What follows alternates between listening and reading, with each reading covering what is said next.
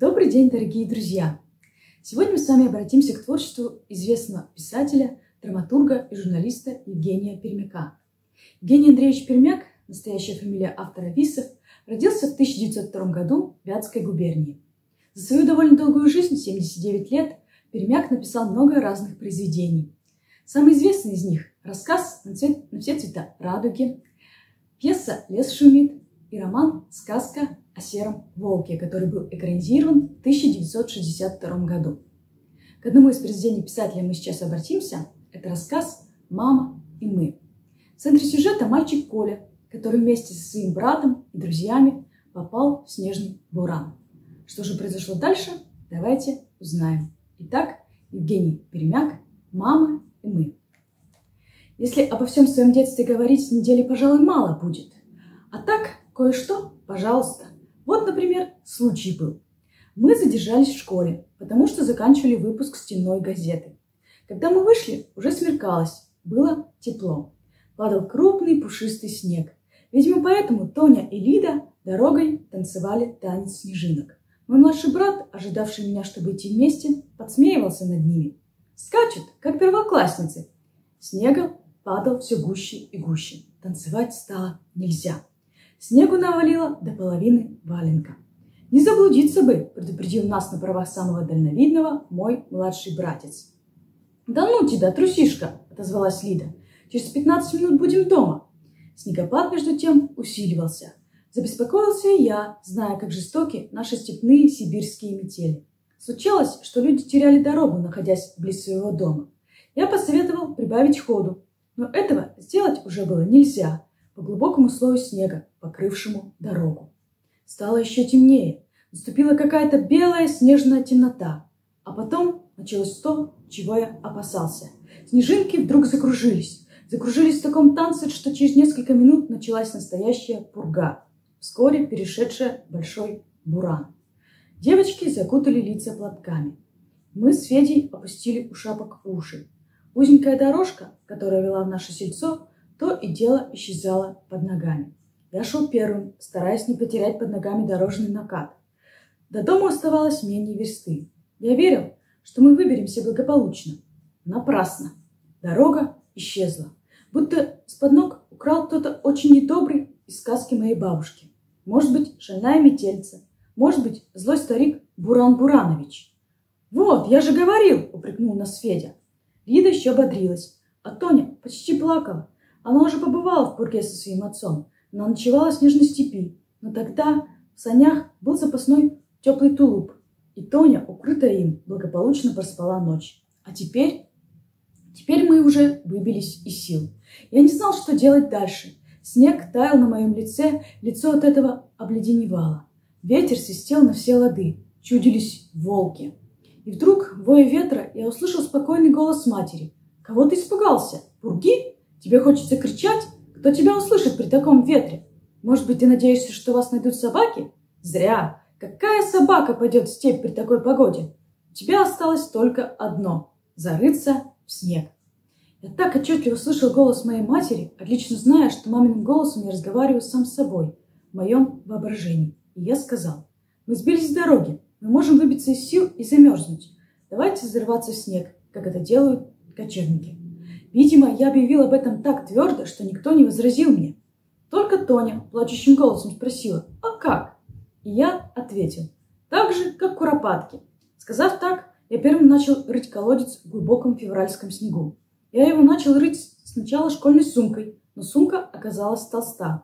Тогда я вынул из сумки географический атлас в прочном картонном переплете. Дело пошло быстрее. Меня сменил брат, потом Тоня. Тоня даже развеселилась. Тепло как. Попробуй, Лидочка, разогреешься. И мы стали поочередно рыть колодец в снегу. После того, как колодец достиг нашего роста, мы стали прорывать пещерку в его снежном боку. Когда метель заметет колодец, мы окажемся под снежной крышей вырытой пещерки. Вырыв пещерку, мы стали размещаться в ней. Ветер вскоре замел снегом колодец, не задувая в пещерку. Мы оказались под снегом, как в норе, будто тетерева.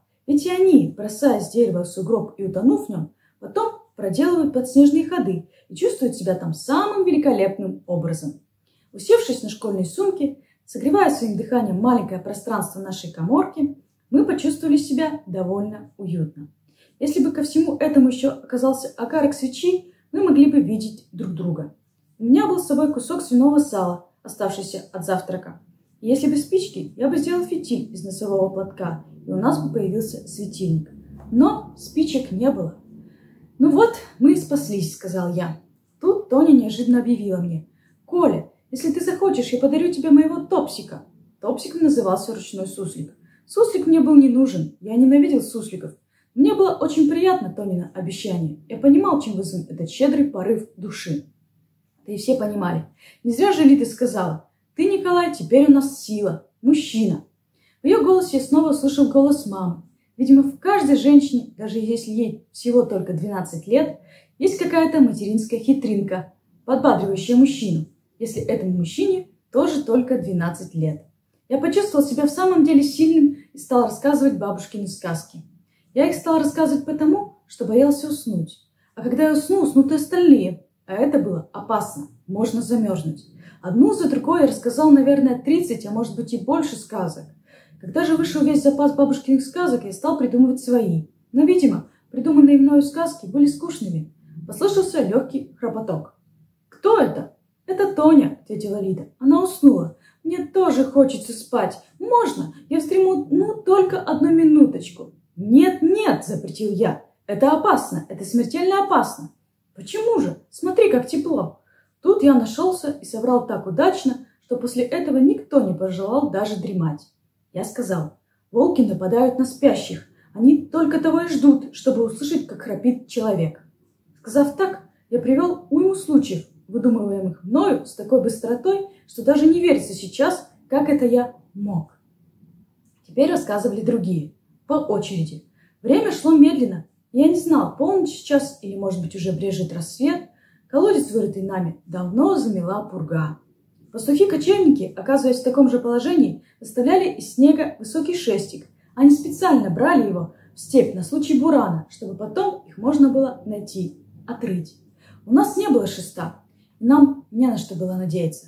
Только на собак. Но и они бы не учуяли нас сквозь толщу снега. Мое сало давно было разделено и съедено, как и Лидин ломоть хлеба. Всем казалось, что уже наступило утро, и хотелось верить, что пурга кончилась. Я боялся прорываться наверх. Это значило забить снегом пещерку, вымокнуть и, может быть, очутиться снова в белой снежной мгле. Но каждый из нас понимал, какое беспокойство мы причинили всем. Нас, может быть, ищут, кличут степи. И я представил свою маму, которая кричит сквозь ветер. «Калюнька, Федюнька, отзовитесь!»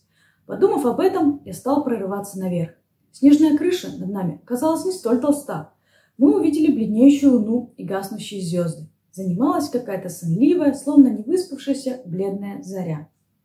«Утро!» — крикнул я и стал проделывать ступени в снегу, чтобы выбраться остальным. С неба сыпались запоздалые снежинки. Я сразу же увидел наш ветряк. Дым из труб поднимался тонкими, будто туго натянутыми струнами. Люди проснулись. А может быть, они и не спали в эту ночь.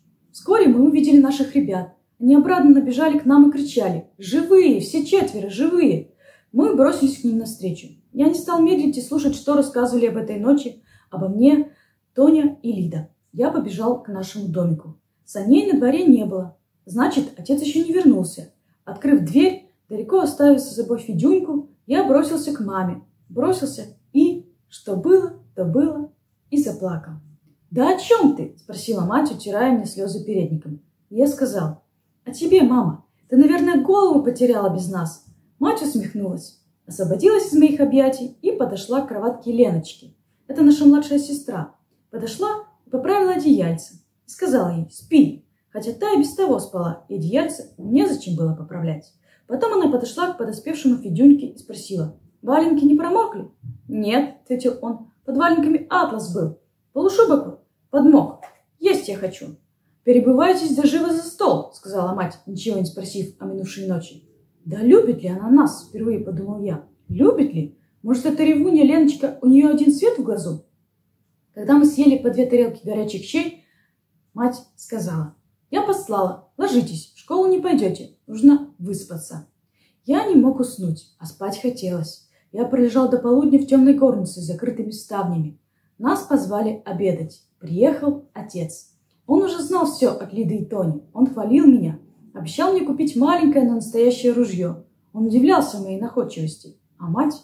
Мать сказала, парню тринадцатый год, и смешно было бы, если бы он растерялся метель, до себя с товарищами не спас. «Анюта!» — укоризненно заметил отец матери.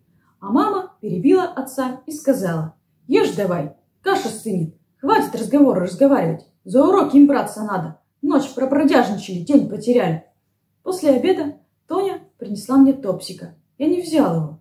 Ледина мать, Марфа Егоровна, явилась большим кусаком и, низко поклонившись матери, сказала, «Спасибо тебе, Анна Сергеевна, что такого сына вырастила. Двух девок спас. У Тоньки-то сестры есть, а Литка-то ведь у меня одна». Когда Марфа Егоровна кончила свои причитания, мама сказала, «Как тебе не стыдно, Марфа, моего недотепу Кольку героем выставлять?» И, повернувшись, на отрез отказалась взять кусака. Вечером мы остались с бабушкой вдвоем. Мать ушла на станцию, к фельдшеру. Сказала, что угорела, болит голова. С бабушкой мне всегда было легко и просто. Я спросила «Бабушка, хоть ты скажи мне правду, за что нас так не любит мать? Неужели мы в самом деле такие не стоящие?» «Дурень ты, больше никто», — ответила бабушка. «Мать всю ночь не спала, ревела, как умалишенная. Собакой по степи вас искала, колени обморозила. Только ты и смотри об этом не гугу. Какова она есть, такую любить надо. Я ее люблю». Вскоре вернулась мать. Она сказала бабушке, Фельдшер дал порошки от головы. Говорит, чепуха, через месяц пройдет. Я бросился к матери и обнял ее ноги. Сквозь толщу юбок я почувствовал, что ее колени забинтованы. Но я даже не подал виду. Я никогда еще не был так ласков с нею. Я никогда еще так не любил свою мать. Обливаясь слезами, я целовал ее обветренные руки. А она всего лишь, как бы между прочим, будто теленка, погладила меня по голове и ушла, чтобы лечь. Видимо, стоять ей было трудно. В холодной холле растила и закаливала нас наша любящая и заботливая мать. Далеко смотрела она, и худого из этого не получилось. Федюлька теперь дважды герой. И про себя я кое-что мог бы сказать. Да матерью строго-настрого завещено как можно меньше говорить о себе. Такой интересный, светлый рассказ Евгения Пермяка мы с вами прочитали.